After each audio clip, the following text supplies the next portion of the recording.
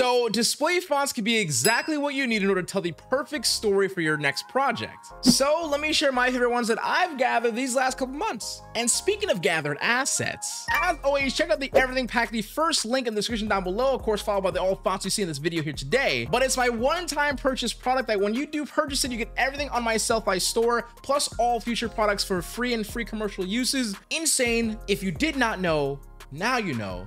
Let's get into the video though. First font is known as Outward. This typeface offers three different weights of negative space filling goodness. I will always be a fan of condensed fonts because they allow for words that have a high character amount, fit in tighter dimensions, and command the area. The overall vibe I feel would work in different projects and easily has like a pattern type texture for posters. It's a dope font and like an easy pickup. Next would be NeoPixel. Not often do you come across a mono typeface influence with a futuristic element involved with it too. Although many times they do go kind of hand to hand, but I can see for like space projects, tech, any sort of like future setting, this font being a really cool addition to your font library. And for being free for personal and commercial use, like the many fonts in today's video, it's unreal how amazing people are to share things like this for free. Yeah, isn't it crazy how like amazing people are? Just saying. However, though, since we're on the topic of futuristic fonts, let me introduce Kica to you. One of the only free for personal use fonts, not commercial in today's video, but I think this stylish modern typeface has confidence, but also a fairly great font pair with our previous showcase being NeoPixel. Kica being the heading font and like NeoPixel being the subtext font would honestly bring a pretty cool, unique look together. But with Kica's use cases for like headlines or logos and just like an overall just standout look, it's a super clear pickup for your possible next project. Up next is Slice. Now, all this type typeface at first glance might seem like a very specific font use case. I think it has tremendous value being free for commercial use first of all, but also not many typefaces look like this. I can see my apparel designers loving this font with its legible, almost paper receipt-like inspiration, but also I really enjoyed the urban feeling I got when actually sharing this mock-up that I saw in the actual showcase of the basketball court and like the font is featured as like a treatment behind it. Tell me like right now that you can't see like a sports brand, maybe like Nike for instance, kind of use this as like a just do it or like a cool campaign. I, I, I can see it. I don't know. Regardless, call me crazy, but I might be using this in my future. Who knows? But what I do know is that Unique is up next. Unique is a typeface that I believe everyone should have at least a few of. For one, it has a very friendly face where it could be very popular with branding and packaging design, but it also literally comes with seven free variable weights. That's literally insane not to mention a full character size of accents and punctuations. It's totally an easy choice if you're in the market for something friendly and bold. But following something unique has to come with Thunder. I,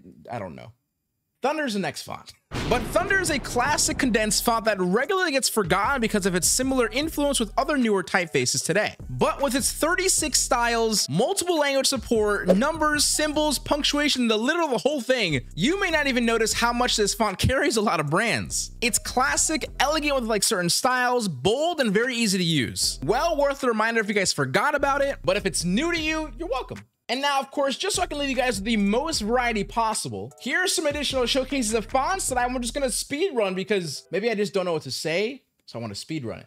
But here they are. Fluidic. It's a super dope typeface that's very bold and has a really cool, unique style to it. Valverde. The elegance and almost like vintage vibes speak for themselves. And if it's common for you to work with these type of brands, I think it's a super dope pickup. Antho, it's like another font that I think just really nothing looks like it, but also has a really cool retro and beautiful bold look to it. And lastly is New Mexico. I think everyone should have a typeface that has these really cool deep ink traps because they're actually perfect for being legible in like the smallest letter form, but also just kind of has a cool style to it as well if you're into it. And with that, that's the end of today's video here today. So as always, a fonts in the description down below to download. You can either download them all singularly or you can download the entire bundle and just like, of course, share credit, show love to the actual artists themselves. I love y'all. I appreciate that you love me. Uh, I'm also making something right here.